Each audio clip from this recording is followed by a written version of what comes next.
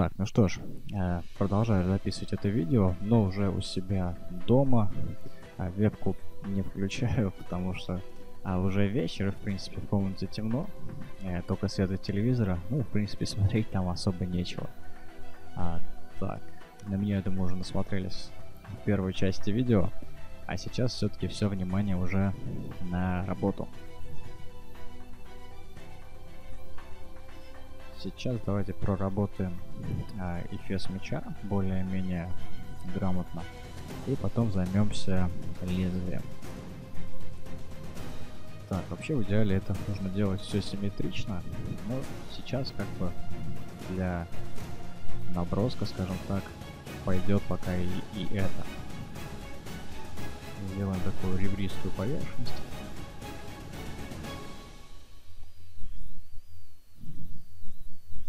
Не так.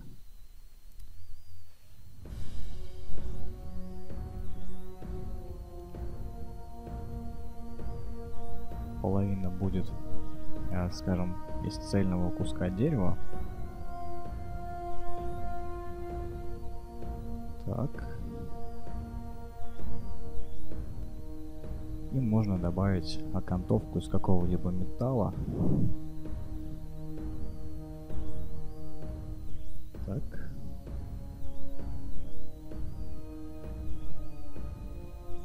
А не нужно ее делать толстой. Для этого есть вот эта вот часть.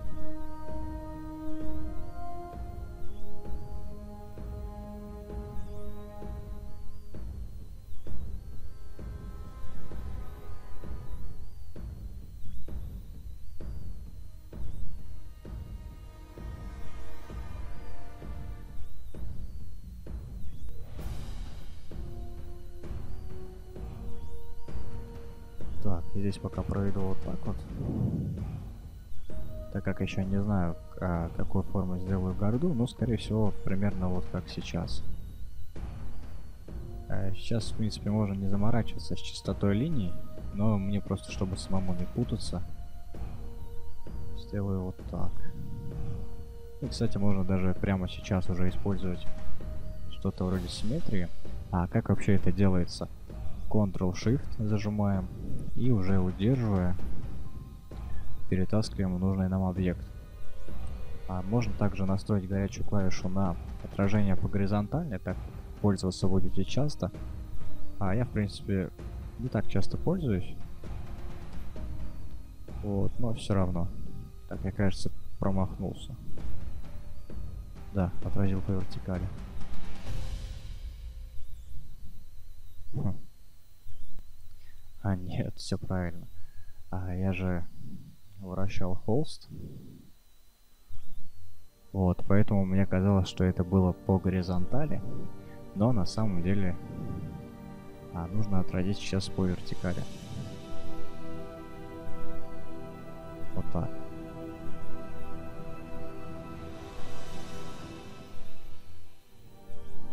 Подгоняем по размеру. И вот это, в принципе, можно теперь просто подвинуть, используя лассо.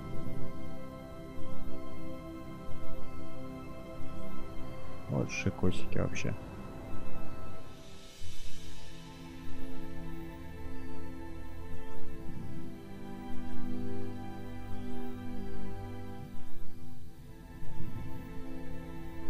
Так, здесь тоже можно сначала сделать что-то вроде такой вот окантовки из металла.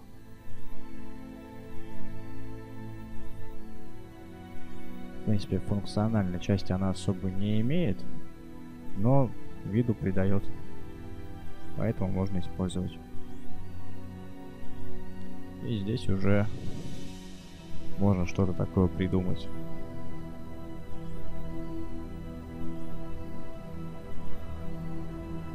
Так, теперь что делать с этим наконечником? А если его хотите сделать круглым, то в принципе лучше использовать для этого примитив круг так как идеально ровный круг нарисовать очень сложно. Вот, ну, в принципе, оно и, и не нужно. Вот, ну это так, если по фану. Но когда работаешь на время, особо не до фана. Вот, поэтому что можно сделать? Создаю новый слой. А, так, панелька инструментов. Сейчас покажу вам инструмент сам.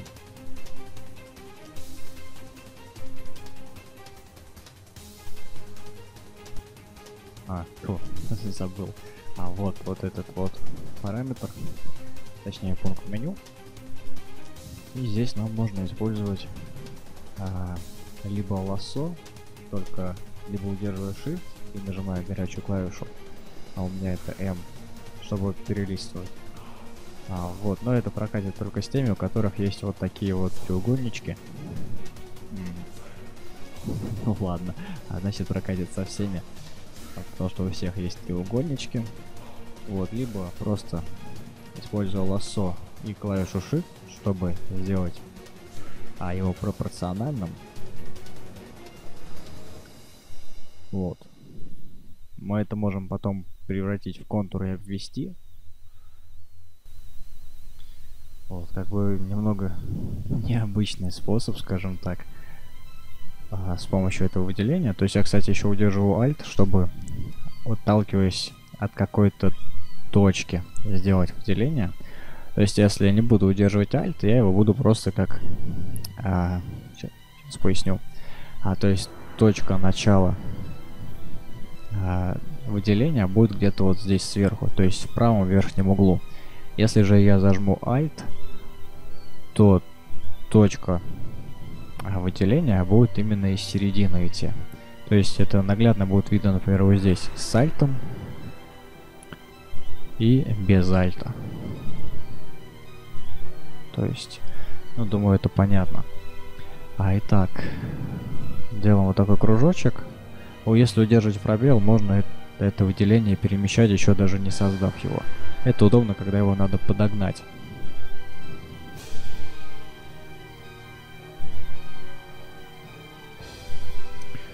Так. А, заливаю черным цветом. Вот, но такое пятно нам черное здесь ни к чему, поэтому а, вот такие махинации. Два раза по слою. Непрозрачность заливки 0. Выполнить обводку черным цветом. Это больше подойдет, если вы делаете прям реально чистый art, а, где прям одна линия такая, как вектор. Вот, то есть это может подойти для таких случаев. А, еще, как вариант, можно использовать уже готовые фигуры. А, вот они все на выбор. А, в нашем случае это эллипс. Также все те же самые а, штуки, приколюхи, горячие клавиши, что и с а, выделением. То есть тоже Shift, Alt и так далее.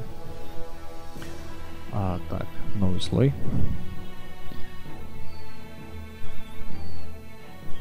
Вот так. Вот, вот так. А, то есть, опять же, получаем просто черное вот такое вот пятно. Вот, но здесь у нас есть а, выбор. Либо фигура, то есть она создаст а, векторную фигуру, ну, что-то вроде смарт-объекта. Но здесь реально как вектор. То есть, если будете изменять размер, он как бы портиться от этого не будет. Так, долго грузится. Вот, но в нашем случае все-таки больше подойдет а, контур. Мы делаем контур. И нажимая правой кнопкой мыши, появляется вот такое вот менюшка. вот такая меню. И нажимаем выполнить обводку контура. Можно использовать карандаш, либо кисть. Имитировать нажим не обязательно, тогда линия будет однородная по толщине. Если же имитировать нажим, то линия может в некоторых местах вот, а, как бы сужаться. Но иногда нужно, иногда нет. То есть по ситуации смотрите. Вот, то есть также... Да что ж такое? Планшет уже не хочет рисовать. Выполнить обводку контура. Кисть. Тадам. А, чтобы сделать линию толще или наоборот тоньше, нужно изменить диаметр самой кисти.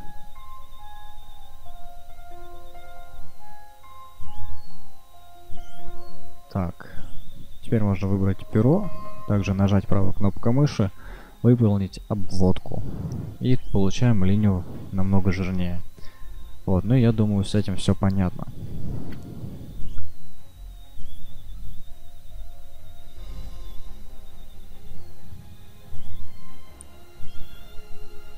Можно, конечно, еще жирнее, ну да ладно. А не обязательно.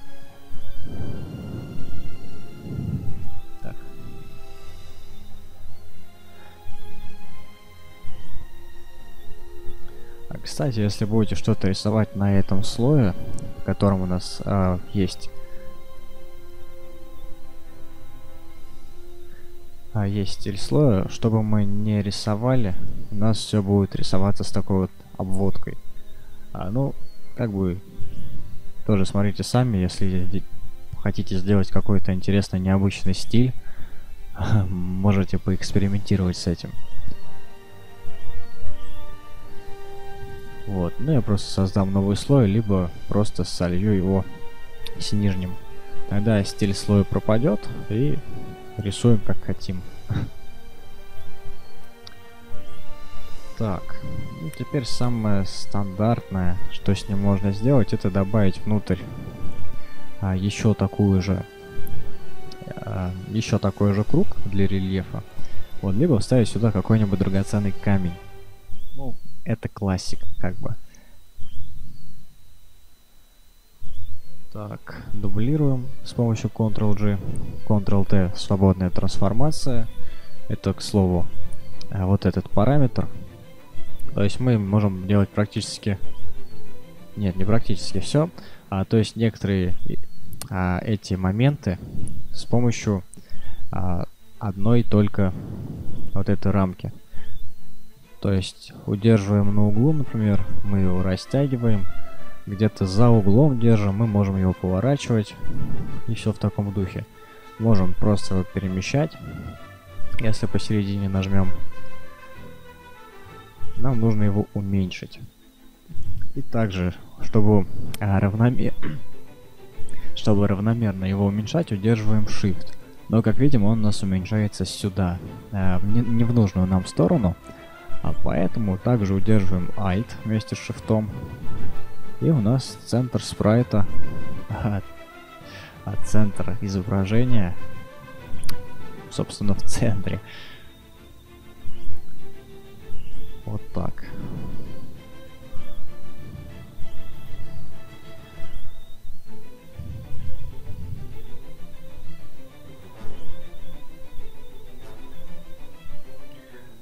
Так, окей. А что касается рукоятки, здесь, если уж кажется совсем скучной, можно добавить какие-либо элементы, которые не будут позволять руке соскальзывать с нее. То есть а в бою, да и вообще в жаркую погоду руки потеют. Вот, и хват меча, да и вообще любого объекта, он сильно ухудшается за счет того, что ну, предмет просто может выскользнуть из рук, потому что они мокрые, нету силы трения. Вот. Ну, как бы спасибо Кэп, конечно, но многие почему-то этого не учитывают иногда. Вот, поэтому можно для, скажем так, реализма добавить какие-нибудь элементы на рукоятку, которые не будут позволять потным ладошкам нашего бравого воина в... выкидывать свой меч из руки.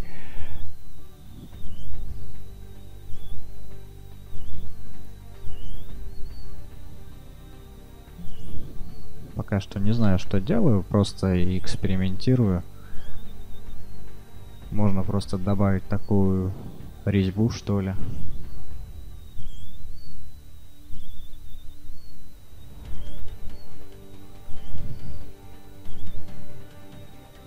Вот, еще, конечно, можно просто обмотать меч чем-нибудь, например, той же самой кожей. Но мне пока что больше всего симпатизирует э, цельная такая рукоятка.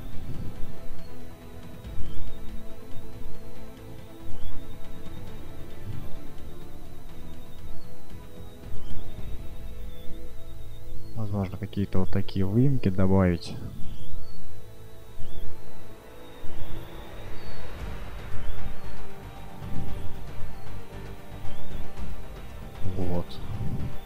Принципе, больше даже ничего добавлять на рукоятку не надо. А по двум причинам. Первое, она делается для игры. Ну, собственно, весь меч делается для игры и сам концепт. И большую часть времени он будет находиться в руке персонажа. Поэтому особо прорабатывать рукоятку и делать ее какой-то ключевой нет особого смысла.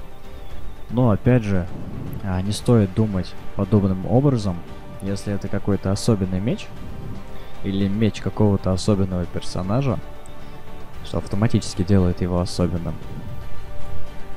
Вот, ее все равно нужно будет проработать, так, так что а, меч может быть просто в ножнах, и поэтому там будет видно только рукоятка, ну и, собственно, горда, то есть весь эфес меча.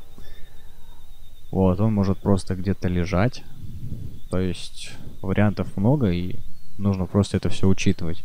А с этим мечом ничего такого подобного необычного не будет. Поэтому ничего такого необычного с ним и не придумываю.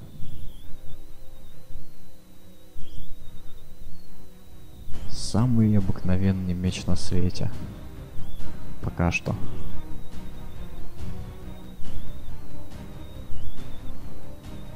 Вот, все, отлично. А, как бы больше нагружать ее реально не надо. Вот. Отлично. А можно, кстати, для себя подписывать, да даже иногда нужно, а какие детали из чего будут, чтобы уже примерно в голове представлять, как он будет выглядеть. То есть это у меня по-любому будет темное дерево,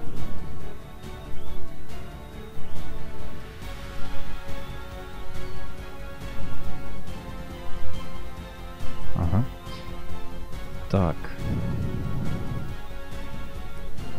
Здесь. Не знаю, сделать ли его золотым. Или просто какой-нибудь металл. В общем, пока просто напишу металл. В процессе уже будет видно.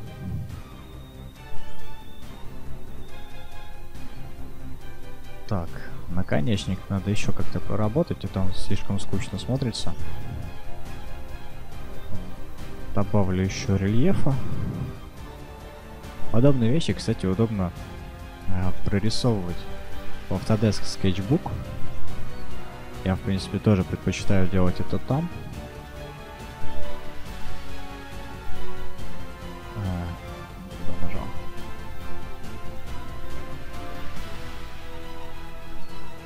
Я, кстати, все так же не видно клавиатуру из-за моей суперской стойки для микрофона. Почему-то не работает горячая клавиша.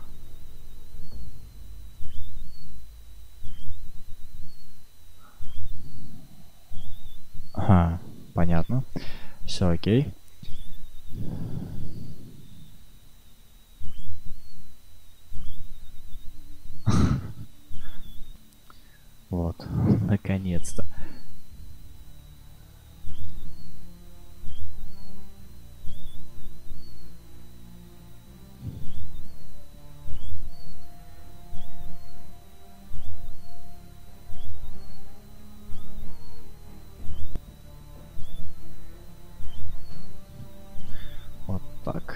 Наконец-то. Еще такие а, круглые области удобно придумывать в 3D Max, прям сразу там. Но, в принципе, на этом фантазия может и закончиться.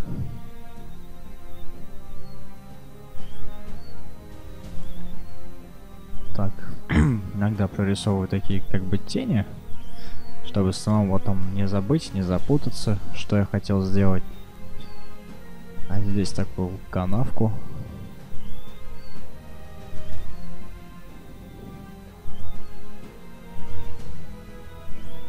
Немного не посередине ее сделал, ну какая разница.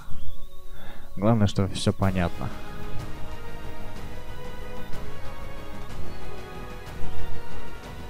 Конечно, если вы делаете концепты для кого-то, а, по которым потом будут лепить модели, а, то, конечно, все-таки нужно уважать людей в этом плане и постараться самому тоже.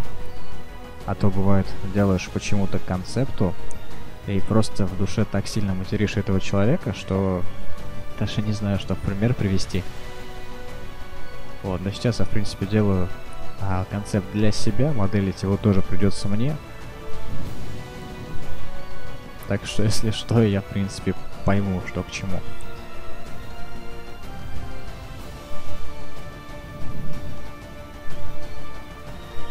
Так, сюда можно будет ставить какой-нибудь интересный иероглиф. Я, к сожалению, не умею их рисовать. Но, в принципе, Google умеет. А там уж все получится. В общем, пусть пока будет так. А еще можно добавить а, какие-нибудь кисточки или ленточки, которые прямо из набалдашника выходят, а, точнее наконечника.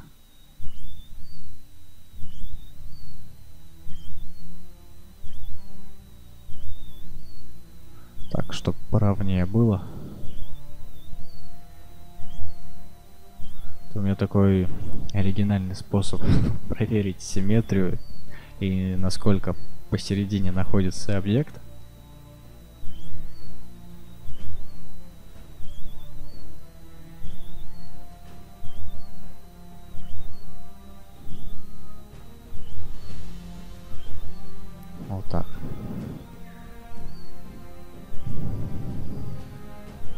А здесь, естественно, будет какая-нибудь веревочка, на которой держится кисточка. Такая супер система на узелок. Блин, все-таки надо взять размер побольше, потому что вот эти вот пиксели, они, честно говоря, раздражают. Вроде и размер уже больше особо не сделаешь. Ну да ладно.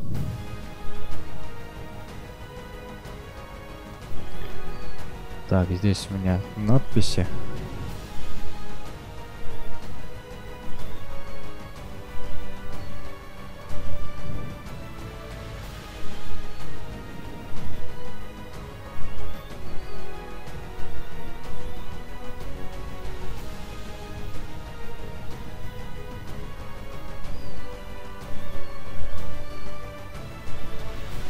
Вот, сильно длинную тоже делать не надо так как непрактично. А то, что непрактично, обычно и смотрится не очень.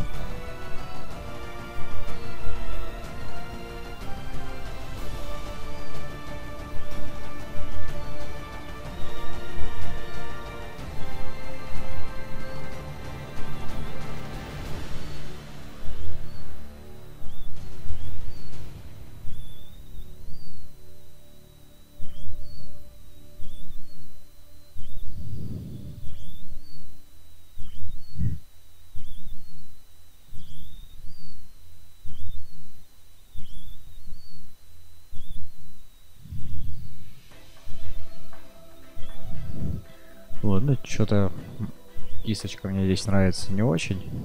Конечно, если проработать, продумать, она будет смотреться а, гораздо интереснее. Но мне кажется, это не тот вариант. Можно еще попробовать ленту. И если с ней не получится, то в принципе пофигу.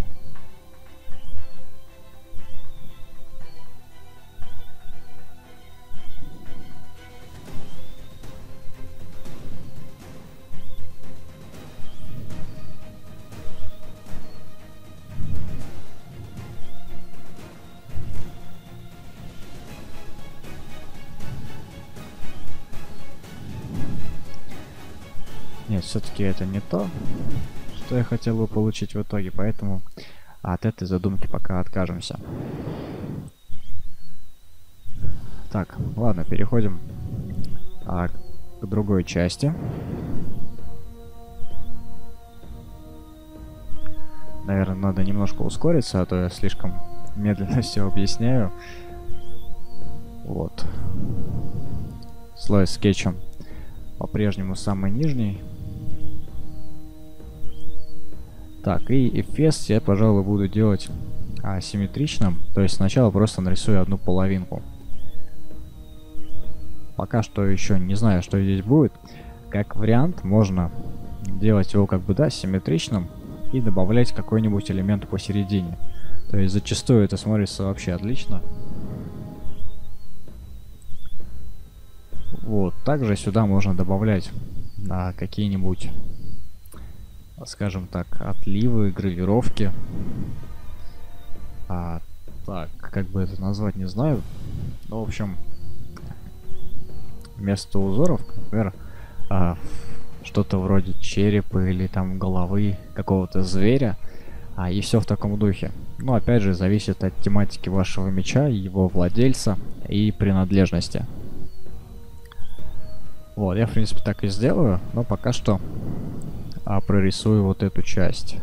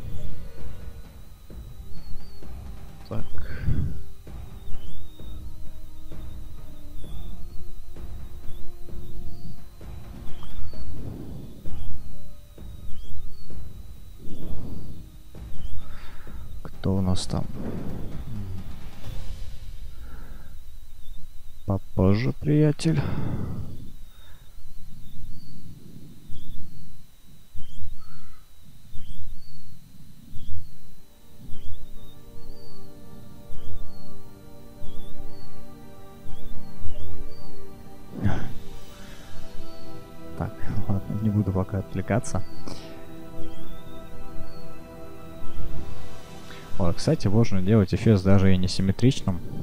А почему-то мне сейчас пришла такая мысль сделать его как раз именно таким. Сейчас еще кое-что дорисую.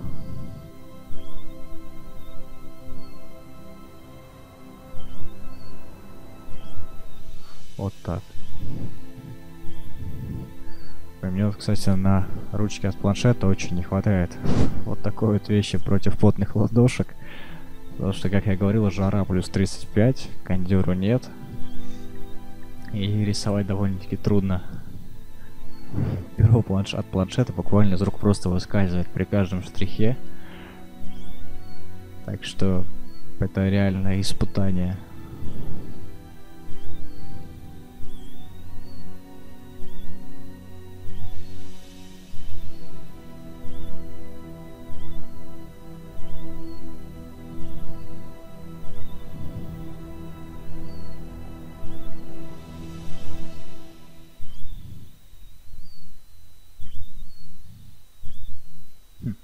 Вообще довольно любопытно может получиться, если что-то вот такое вот продумать до конца.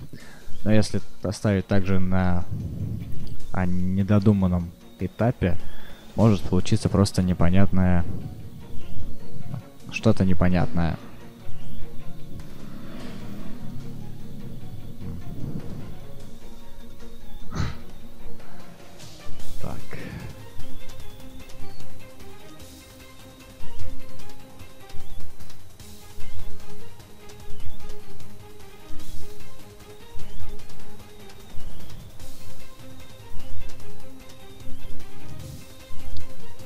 Вообще, кстати, проработка эфеса довольно интересное занятие, когда нужно придать а, мечу индивидуальности. То есть показать э, характер его владельца. Это вот и вообще, собственно, э, сам характер меча, если можно так сказать. А это как раз самое то.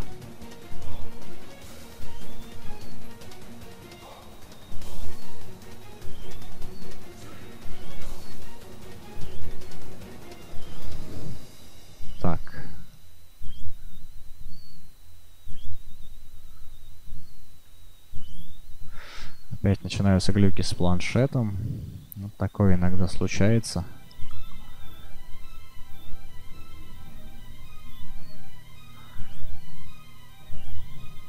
О, отлагало.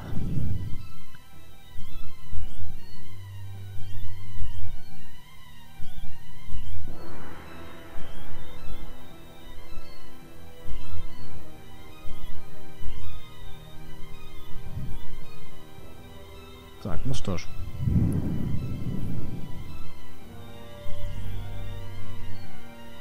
А вот здесь как раз можно добавить какой-нибудь драгоценный камень или чью-нибудь голову. Но мне кажется, что лучше все-таки камень.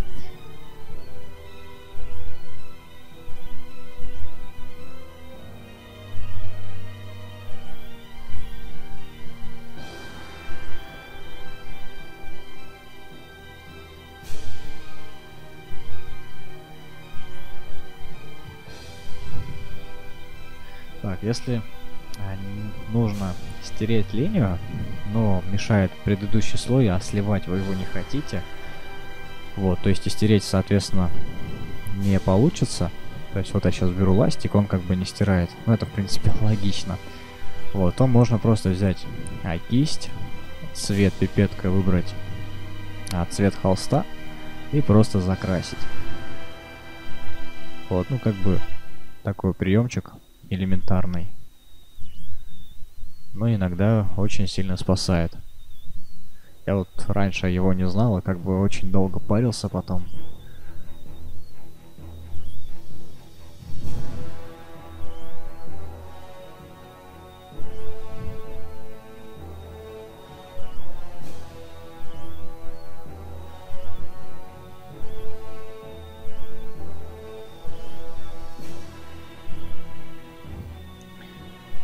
Уже что-то интересное получается.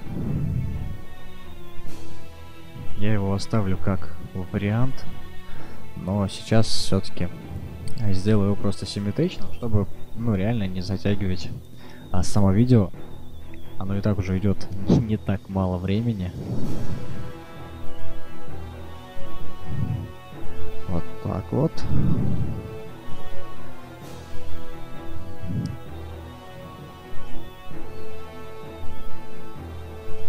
На самом деле процесс пока еще не ускорен. Так.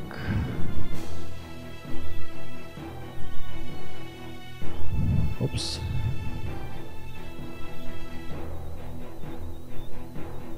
Такое? Все забываю, что я повернул холст. Из-за этого иногда путаю оси.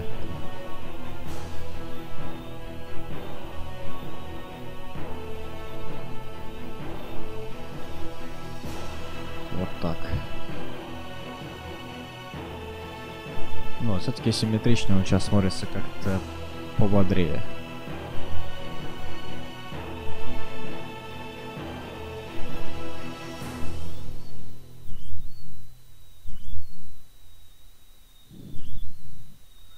Вот, в принципе, здесь получается так, что а, вот эта вот часть, она как бы а, перетекает вот в эту часть.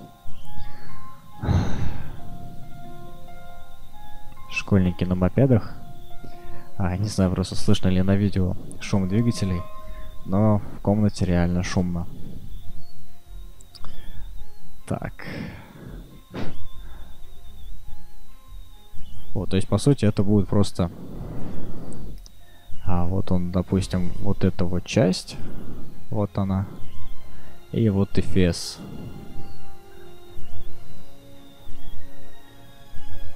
Там уже пошло лезвие дальше. Вот, и вот этот вот камень, а точнее место под него сокет, оно как бы вот начинается в этой части и заканчивается вот в этой. И тем самым как бы соединяются две части.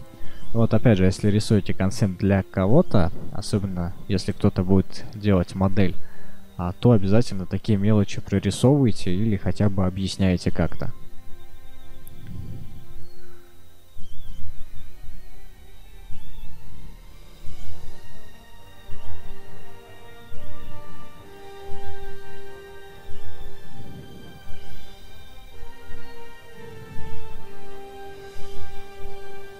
Принципе, большая часть работы над а, линиями закончена.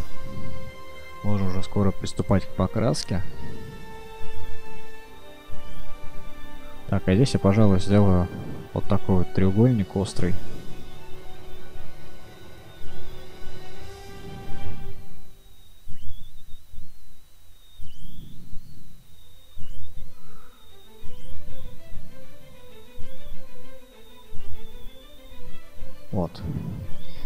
И как раз как бы отсюда линия будет определять а, середину лезвия.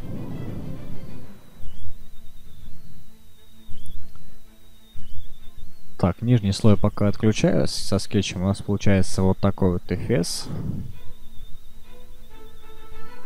Здесь можно прорисовать еще саму а, огранку драгоценного камня.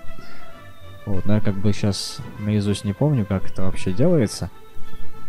Вот, это лучше смотреть по референсам. Но как бы самое простое вот такое вот изображу здесь.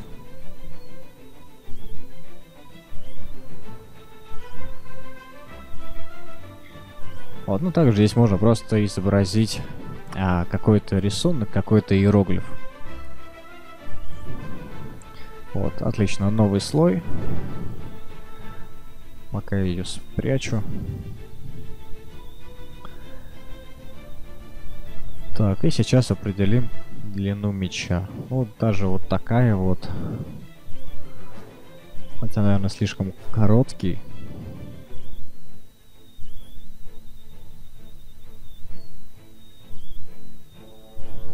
Вот этого будет, в принципе, достаточно, если что, удлиню. Так, теперь ширина клинка, в принципе, тоже. А лучше не делать слишком большой. Если это не финал фэнтези, конечно. Так.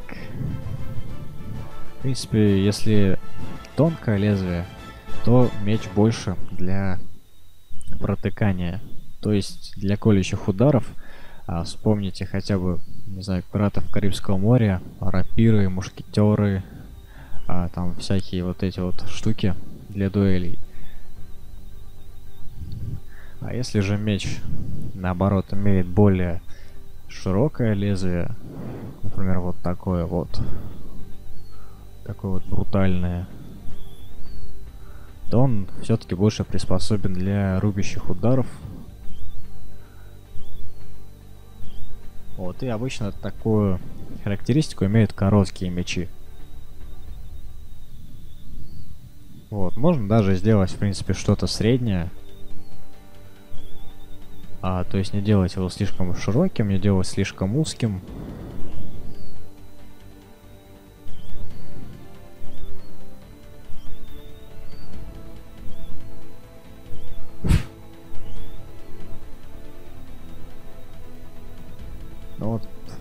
такой ширины вполне достаточно. Хотя при такой ширине его можно сделать даже и подлиннее. Так, теперь надо определиться с видом наконечника.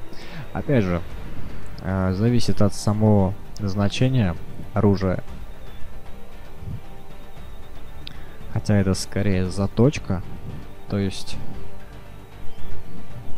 просто вот такая вот прямая, например скошенная, да? Вот, то есть вот эта вот часть у нас тоже как бы она скошенная. А, или, например, вариант с палашом.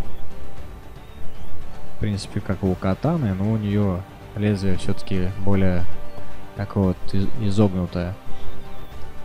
А вот заточка может быть вот такой вот.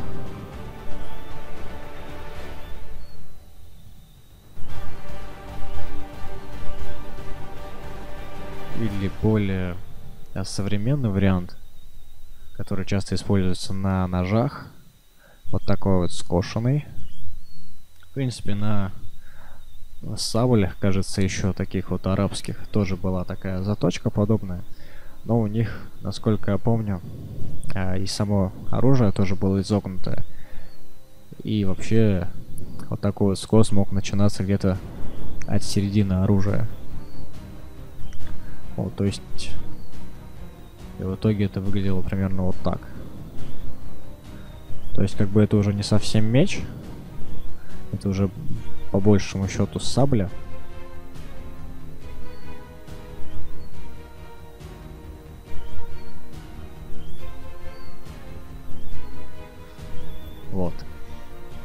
Это уже, кстати, хороший вариант для фэнтези оружия, так как он имеет какую-то визуальную такую составляющую, то есть не просто прямая планка с углом.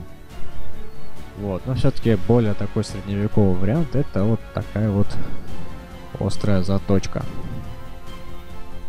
Она также может быть под разными углами, но в принципе в основном это вот такой вот угол.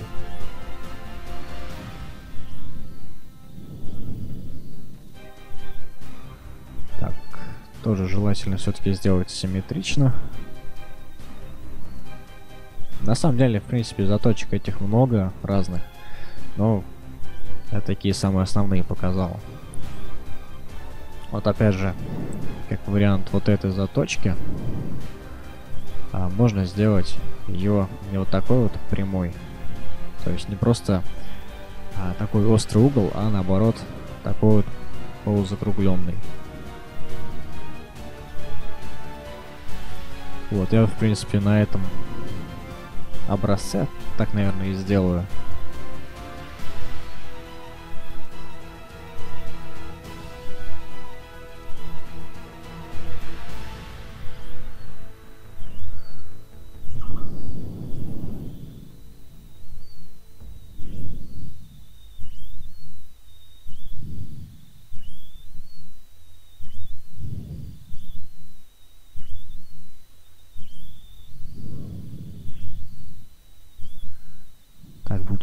Легче.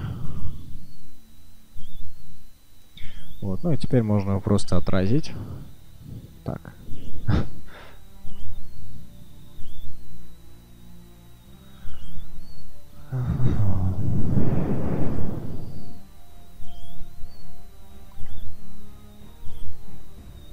Ну вот, отлично.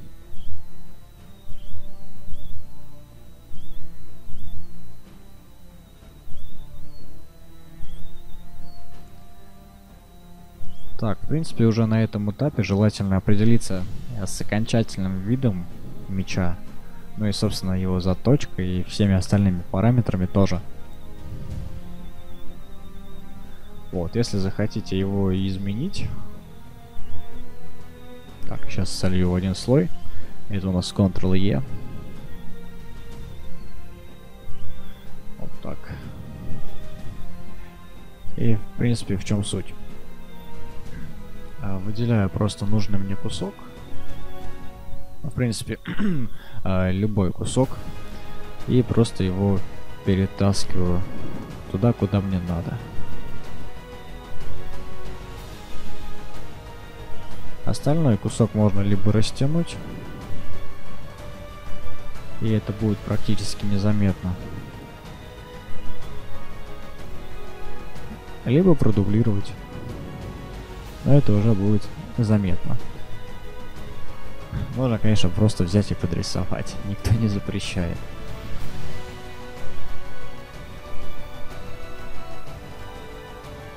Так, заметьте, что здесь нету дола.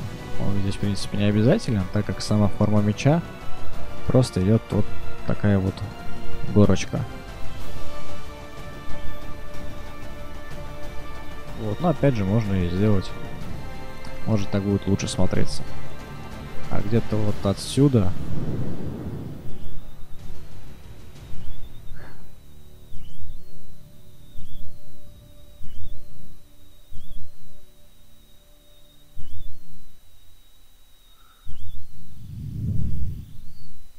А чтобы такие прямые линии делать, можно просто удерживать Shift. Вот тогда, в принципе, куда бы вы там не рисовали, она будет привязана одной оси.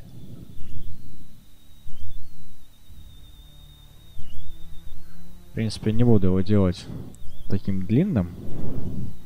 Примерно вот до отсюда будет вполне достаточно.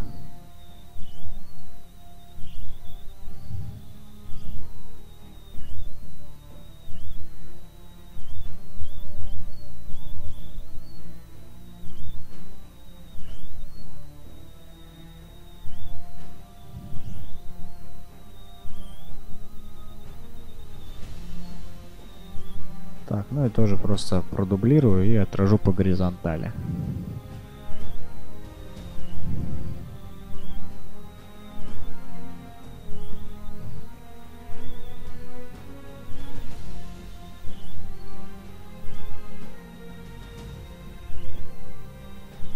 Так, опять перепутал, но ничего страшного.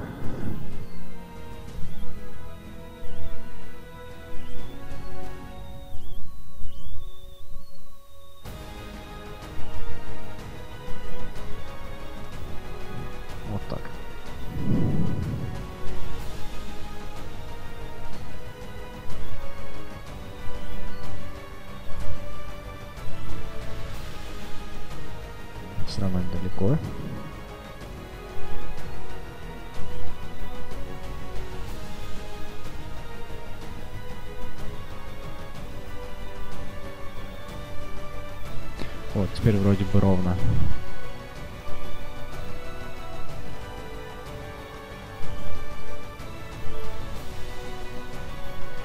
Так, чтобы вот такие вот линии не прорисовывать, можно добавить что-то вроде деталек. Например, сколы. Вот такие вот сколы. Но опять же, а здесь получить скол не так просто.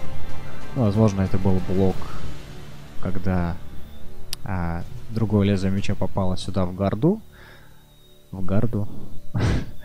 И здесь как-то отрикошетило. В общем, разное может быть. Можно над самой формой меча здесь также поэкспериментировать. Здесь как бы фантазию, в принципе, никто вам не ограничивает.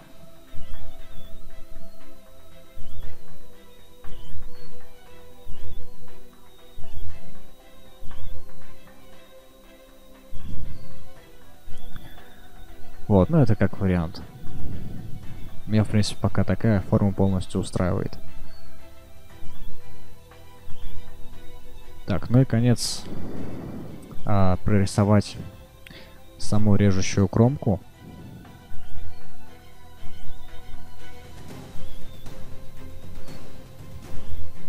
Которая будет начинаться не откуда-то от эфеса. Что, кстати, тоже вполне реально, так как а сам клинок может уходить по эфесу где-то вот аж вообще вот сюда. Вот. Но а режущую кромку можно начать даже и вот отсюда, либо вообще откуда-нибудь вот отсюда. Вот. В принципе, давайте, кстати, попробуем как раз этот вариант.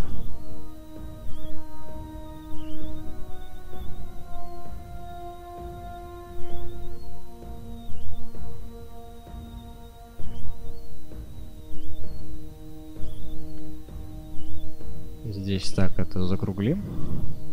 Так как здесь ага, наконечник тоже острый и заточенный.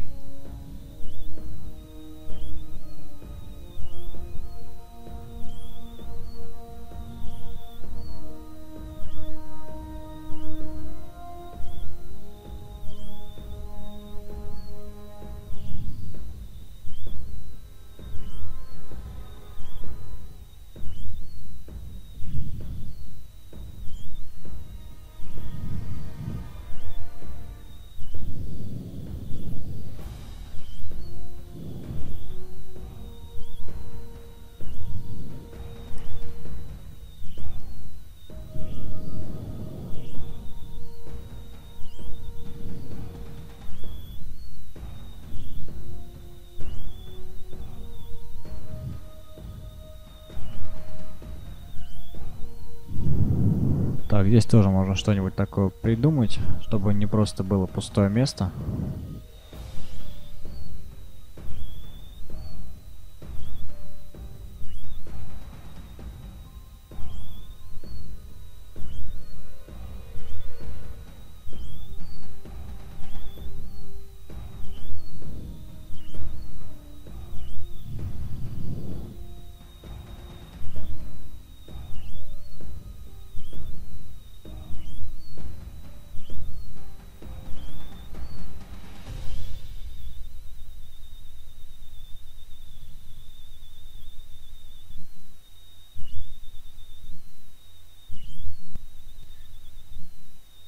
Так, ну и вроде с этой частью мы уже закончили. Можно слегка прорисовать текстурку дерева. Кстати, по материалу можно сделать прям отдельный а, видео урок, либо разделить его на несколько, чтобы на каждый материал как бы свое видео было, минут по 15-20. Вот, но опять же, я думаю, таких видео уже очень много, и я вряд ли что-то новое смогу рассказать. Вот, ну а там, если надо, то без проблем.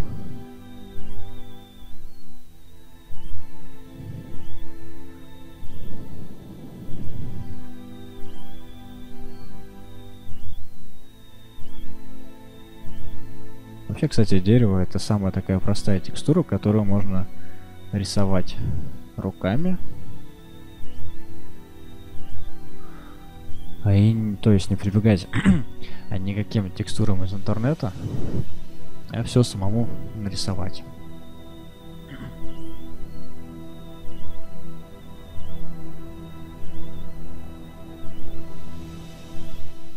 То есть, как видите, рукоятка уже совсем другой вид приобретает.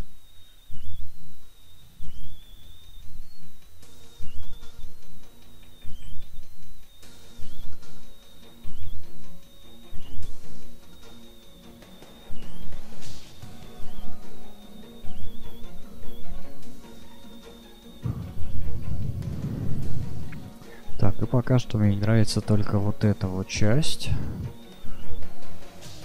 пока не знаю, что сюда такого интересного добавить.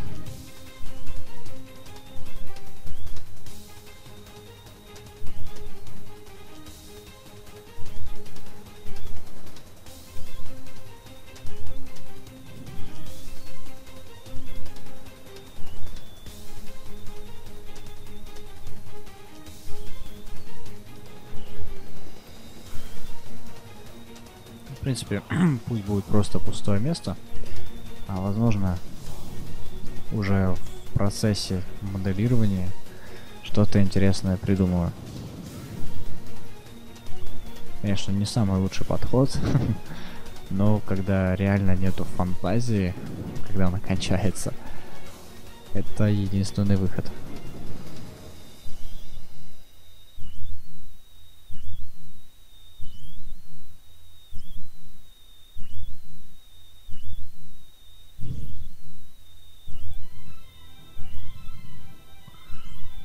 Что-то как-то неровненько.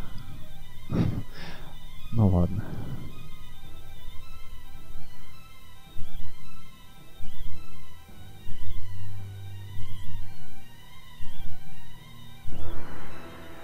Да, как-то совсем неровненько.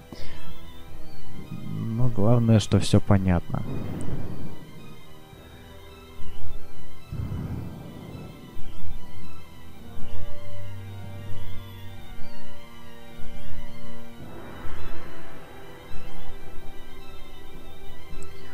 Что ж, на этом, в принципе, лайн можно закончить и приступить уже к реальной покраске. Можно еще только добавить сюда всякие сколы, царапины и так далее. Но я, пожалуй, сделаю более-менее новый меч, практически не бывавший в боях. Поэтому на этом все. И до следующего видео, в котором я уже буду вот это вот чудо красить, а, рассказывать, как подбираю цвет, как вообще все это делаю. Вот, ну, я думаю, будет тоже интересно.